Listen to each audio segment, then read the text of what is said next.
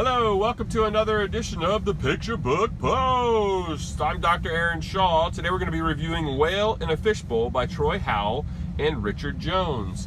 Um, let's talk about first off, uh, what is this cover? What do we think of the cover? Well, it's kind of dull colors, but I think it's intentionally dull colors. Uh, the book is called Whale in a Fishbowl, and you can imagine how sad that is, and the book cover looks pretty sad.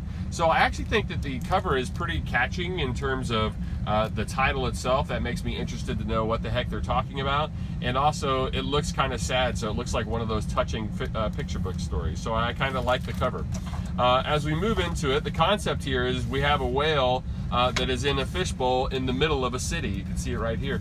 Um, and it's all about this whale feeling out of place but not sure why and it keeps seeing this thing in the distance um, and it doesn't know what it is it just knows it's, it's, this great blue thing that really moves it for some reason. And the, the whale keeps trying to see it and it's doing tricks and people come to see it until one day finally a little girl comes to see the whale. Uh, and the whale the girl talks to the little whale and basically says you don't belong in a fishbowl you belong at the sea. Well, the whale doesn't know what the sea is, but it starts to think about that. And it starts kind of pondering over that more and more until eventually, if you saw my other video, we, we read through the whole book, the end is when the whale finally gets out to the sea. So uh, I really like the artwork. It's kind of this desolate color. It's very simple, but it does a, a, really effective job of showing you what it's like to be the whale in the middle of a city. Um, and so I really like the artwork here. I think it does a great job. I think the writing is touching and moving throughout. You keep wondering what's going to happen to this whale. Uh, you connect to the whale uh, in a kind of a deep emotional way, and you really hope that the whale is going to be able to get out of this fishbowl in the middle of the city and that it will finally discover what it's been missing all along. So I like the writing, I like the artwork.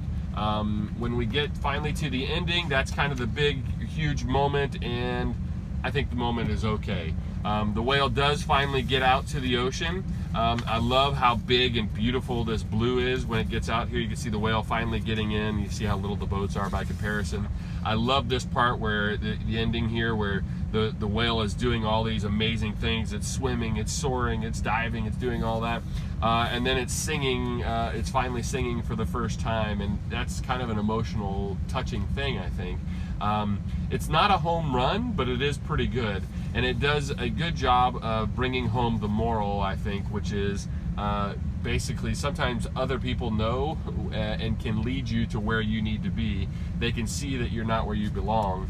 Um, and so I think that that's a, that's a pretty good lesson to learn in life, and the book does a decent job of doing that.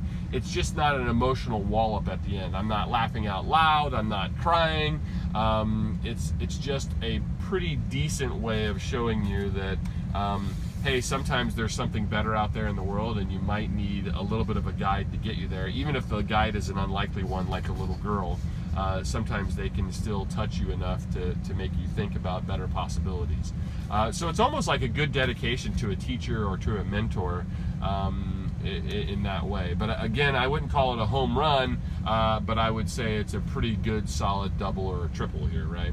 Um, so in general, I think uh, Whale in a Fishbowl is a nice book. It would be a good gift to give to a teacher or to a mentor that really meant something to you, that uh, profound you, profoundly kind of led you in the right direction. Um, is it something that little kids are going to totally understand? I don't know that they're going to get that deep of a concept, but they will root for the whale and hope that the whale gets to a better place. So um, anyway, in general, good book. Um, not a home run, but a, but a really, really decent little picture book. So that's it. Thanks for listening to the Picture Book Post, and we'll talk to you next time on the show. Thanks.